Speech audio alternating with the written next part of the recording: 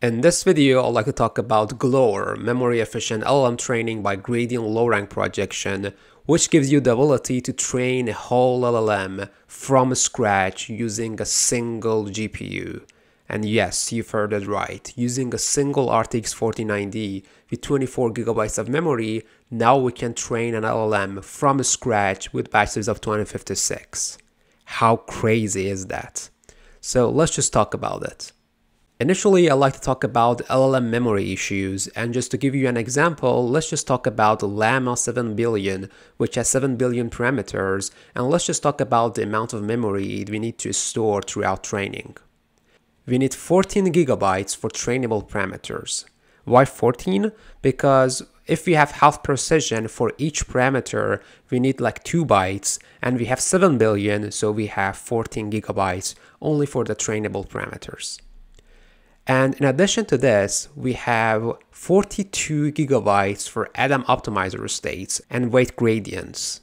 And why is that? Because if you remember Adam, we have two additional things in addition to gradients.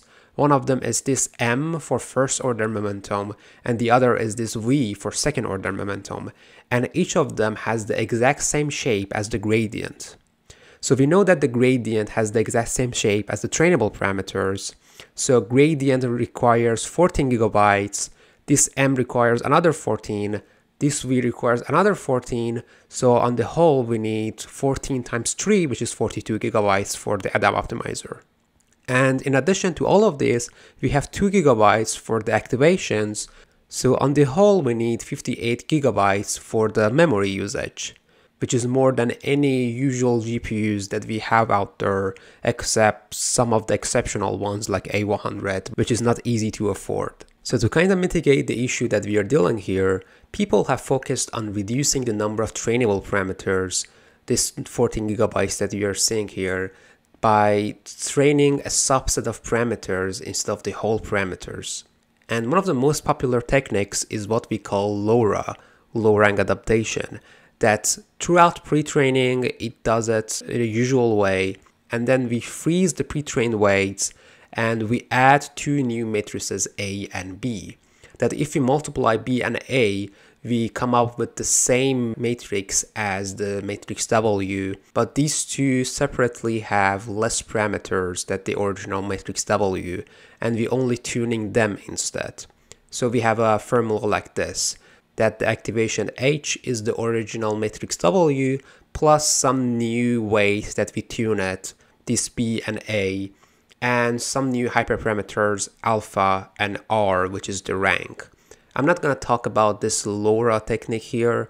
If you're interested to know more, I have another video post GPT, which you can go and see the LoRA section to understand more how this method works. So assuming you know how LoRA works, let's just talk about the limitation of LoRA. The first paper that mentions about one of the limitations is this paper Chain of LoRA, which says, despite its advantages, LoRA falls short of full parameter fine-tuning in terms of generalization error for certain tasks. Meaning that if I have a full rank h equals wx and LoRA which is h equals w plus bax disregarding those hyperparameters alpha and r, then at the end, this full rank method has a better performance, which kind of makes sense. We are having more weights that we are updating and it is easier for the model to converge to a more optimal state. And another limitation of LoRA is what ReLoRA mentions in its paper that says typically we have a pre-training a stage and fine-tuning a stage. And in pre-training, we pre-train our large language model with a large corpus of data. And throughout fine-tuning for our specific downstream task, we tune it, right? So for pre-training, usually people have high amount of resources, so they use full rank. And for fine-tuning, they use LoRA and tune a subset of weights for their downstream task. And this method for sure works. That was the objective of the LoRA paper. But this paper says what happens if I use LoRA throughout pre-training. So if I use LoRA in both stages, we actually fail. And instead, they said if we start with full rank and train it for some epochs, and then use LoRa throughout pre-training. And then for fine-tuning, we use LoRa again, we are getting a reasonable performance. So what is the issue that I cannot use LoRa throughout pre-training? This Galore paper has two hypotheses and it says it might be because the optimal weight matrices may not be low rank, which kind of makes sense.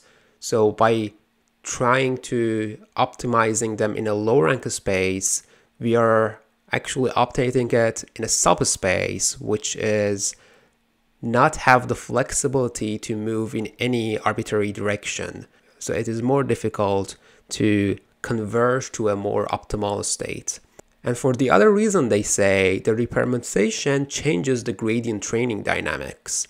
And I'm going to talk about this more in this video. So what they propose here is GaLore, gradient low rank projection, that the idea is very easy to understand. They say, what do we do throughout the optimization? We have the W, the weight matrix, after t iteration, it is equal to what we initially had plus t times updating it using this g tilde. And what is this g tilde? In full rank that we are updating the whole parameters, we simply use this function rho t of gt. So this rho t could be the optimizer regularizer which for Adam was those first order momentum and second order momentum that I just showed you. And this GT is just the negative of the gradients that we want to move in the opposite direction to go towards the minimum. So in GaLore, they say instead of trying to project the original weight matrix into a low rank space, the same thing that LoRa did, let's just do that for the gradients instead. So to, in the GaLore, the G tilde is this thing. So let's just say this G tilde has the shape of MN, the exact same shape of our original weight matrix. Then they propose two new matrices, P and Q. P has M times R and Q has N times R. So if you look inside this rho t function, which is what the optimizer, let's say Adam, receives as the input, instead of being this gt, which is m times n, it now receives p transpose gq. And what is the shape?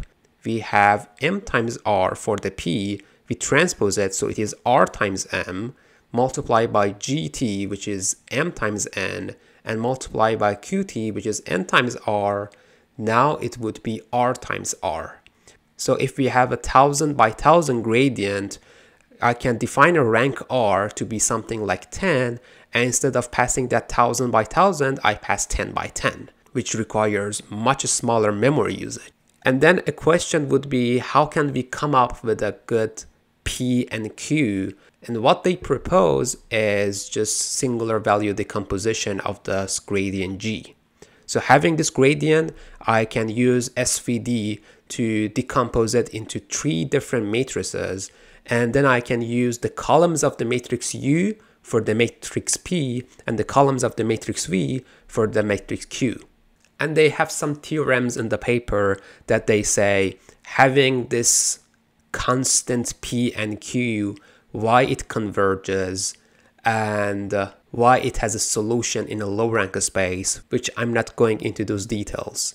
But this is the general idea that we project the gradient into a low rank space and for doing it, we rely on matrix P and Q, which come from the matrices U and V from singular value decomposition. So let's now compare this GaLore with LoRa once again. In GaLore, we have the weight update and we project the gradient into a low rank space and we do it throughout the backpropagation. But for LoRa, we modify the weight matrix throughout the forward process. And we say instead of modifying the weight matrix, I can decompose it into an addition that we have an that I have an original initial weight matrix W0 and I, now I modify it with delta W and I decompose that delta W into matrix BA and I learn that BA. So that's one difference. But the other difference that they but the other difference that is more important and they focused on the paper is the difference in training dynamics. So let's just say this is the shape of the matrices that we have. So G and W both are M times N. And in Galore, I have P and Q, MR and NR. And in LoRa, I have BA, MR, and RN. So they both rely on some term called rank. And they want to optimize it in a low rank space one by projecting the weight matrix, the other by projecting the gradient. But the difference is what happens if I don't rely on this low rank space and I use, for example, in Galore, I define rank to be the minimum of M and N and I kinda try to replicate the full rank behavior. The thing is, in Galore, I can do it correctly because if I do that, and define this function rho to be an identity function, then I can see that at the right side of this equation, I have exactly m times n. But in LoRa, if I try to replicate the full rank, that is, if I want to use b to be m times m and a to be m times n, then the thing is, instead of updating the matrix m times n, now I have to update two different matrices, m times m and m times n. So optimizing these two matrices converges to a different solution than optimizing a single m times n matrix. Let's just say m is 1000, n is 10. So I have to optimize 1000 by 10, but here I have to update 1000 by 1000 and 1000 by 10. So I have actually more parameters in this case and it converges to a different solution and has a different training trajectory. But in Galore, it doesn't happen. You might say, in Galore, I have P and Q, but P and Q are not learnable. You have to note that. P and Q are coming from the SVD, and in case that in SVD I use the whole columns, then it has no influence, and I have the exact same training trajectory. Hopefully it makes sense. And this is the main two differences between Galore and LoRa. But in Galore, we have one additional note that we need to consider. So let's just say I want to update my weight matrices in a three-dimensional space using Galore. And I and by using Galore, I project it from 3D space to 2D space to kinda optimize in a low rank space. So initially I have W0 as my initial weight and using Galore I find that this plane has an optimal direction for the gradient. Then I update it like four times and come up with something like this. But the thing is, the actual solution doesn't exist in this plane. And after a couple iteration, we reach a plateau that it is not gonna be optimized anymore because the better weight direction might be in another space, in another plane. So to kind of solve that issue, they say after a couple iteration, we can reinitialize the matrices P and Q to project the gradients into another space, and then we can move the gradients in that plane.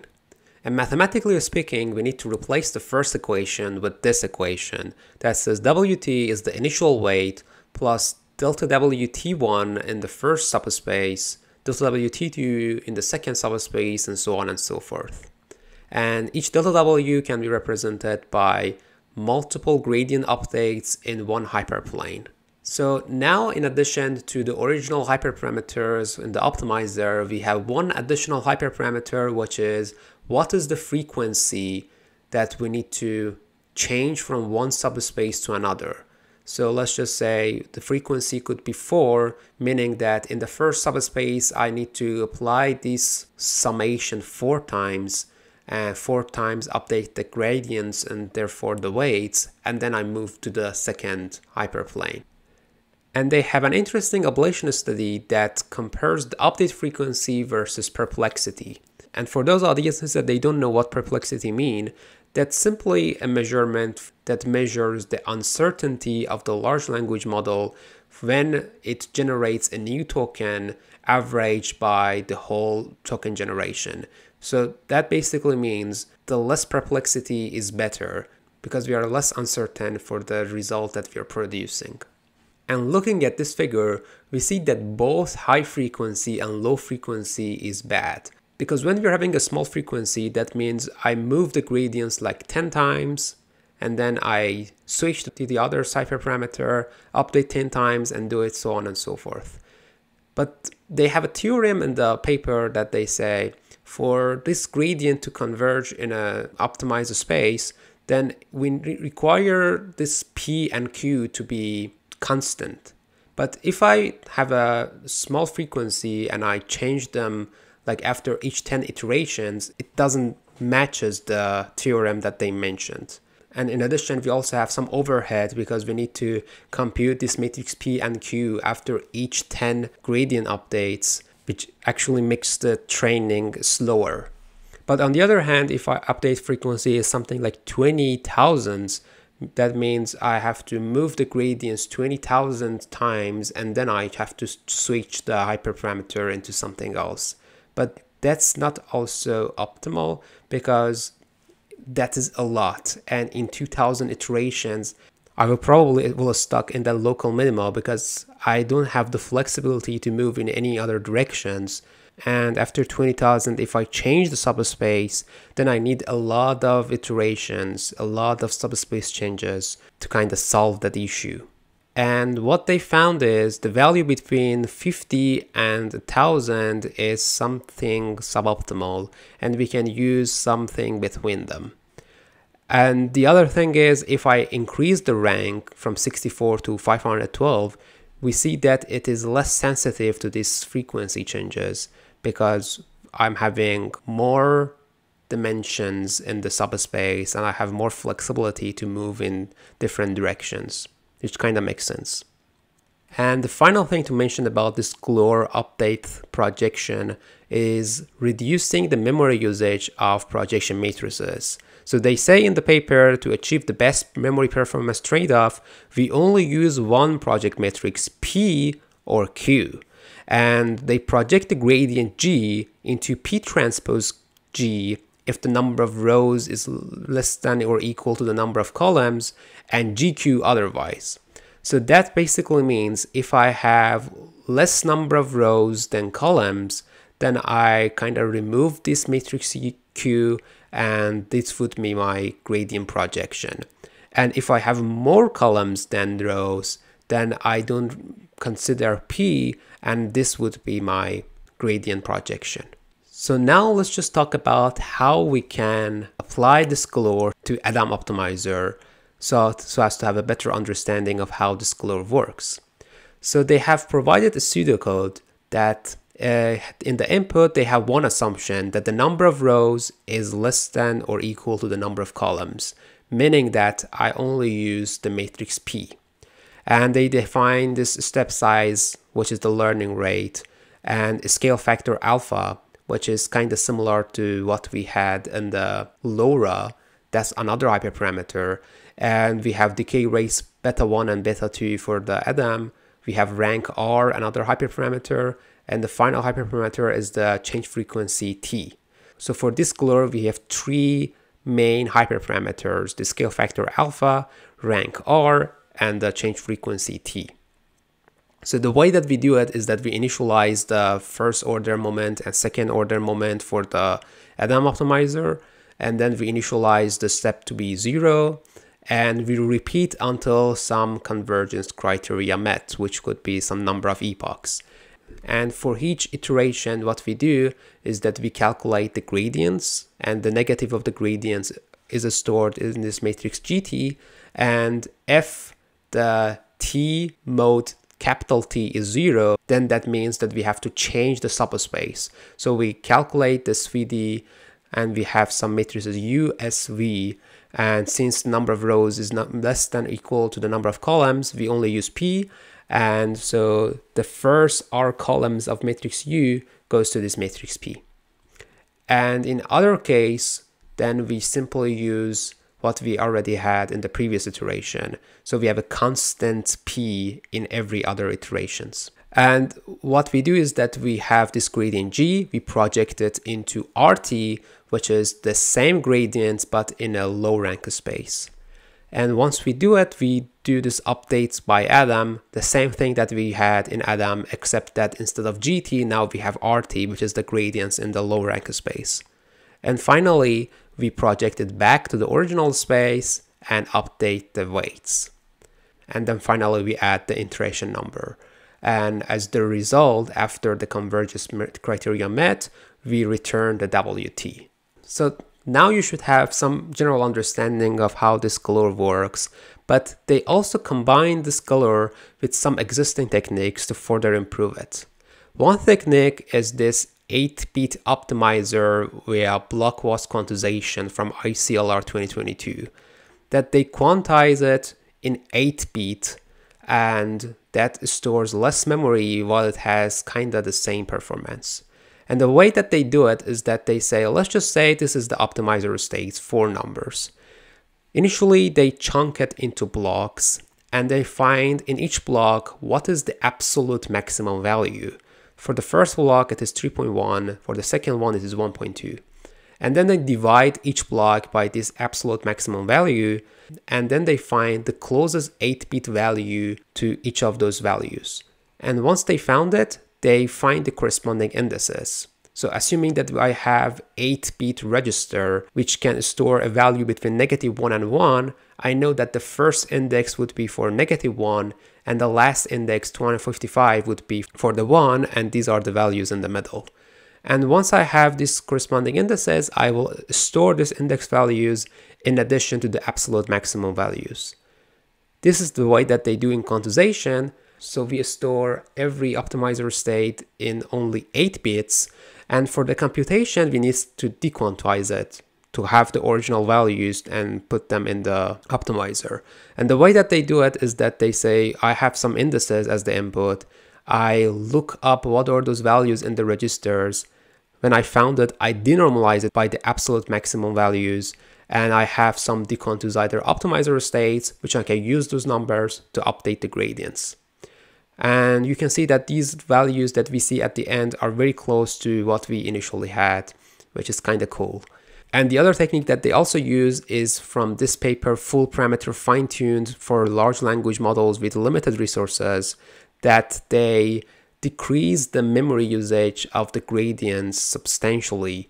And that's very also easy to understand. I promise that's the final thing that I'm gonna mention in this video that is technical, that they say, let's just say in mem we have some circles that means the, the things that I store in the memory and some dotted circles that means I'm the things that I'm not storing them in the memory and the updated parameters are this some green circles.